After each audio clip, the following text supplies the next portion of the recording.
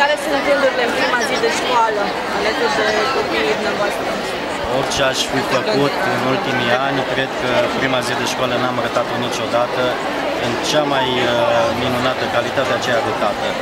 Astăzi sunt aici, uh, nu în calitate nici de ministru, nici de deputat, nici de politician, și de tată care își duce de mânuță copiii în prima zi de școală.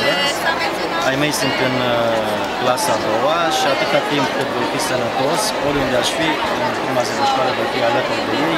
Ca părinte, care sunt așteptările de la acest domeniu al educației? Din, uh, și o spun din nou cu toată sinceritatea, sunt în curtea liceului pe care l-am absolvit acum 20 de ani.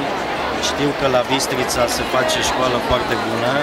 Sunt un membru absolvent de Andrei Mureșanu și sunt foarte bucuros că ai mei copii urmează și ei cursurile acestui liceu. Îmi doresc foarte mult ca profesorii, corpul uh, profesoral să aibă aceeași grijă față de copiii noștri, pentru că, practic, multe ore din zi ei sunt părinții, părinți pentru copiii noștri și îmi doresc foarte mult ca preocupările mai tinerilor noștri să fie îndreptate mai mult spre studiu și mai puțin spre tablete, spre telefoane și spre orice altceva. Eu așa îmi învăț copiii și sper de tot sufletul că se mă ascultă.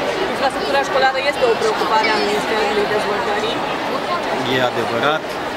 Uh, doar prin uh, PNDL avem în jur de 5.000 obiective, de obiective la nivel național, care înseamnă creșe, grădinițe, școli, licee și îmi doresc uh, ca atâta timp cât sunt ministru să le duc la bun sfârșit. Dar anul acesta am o mulțumire și mai mare pentru că am reușit împreună cu Primăria Municipiului Distrița, cu reprezentanții primăriei din St. George Play, cu reprezentanții liceului din St. George Play, să punem uh, punct sau să începem reabilitarea două licee foarte importante pentru județ, și anume Solomon Haliță și Lucru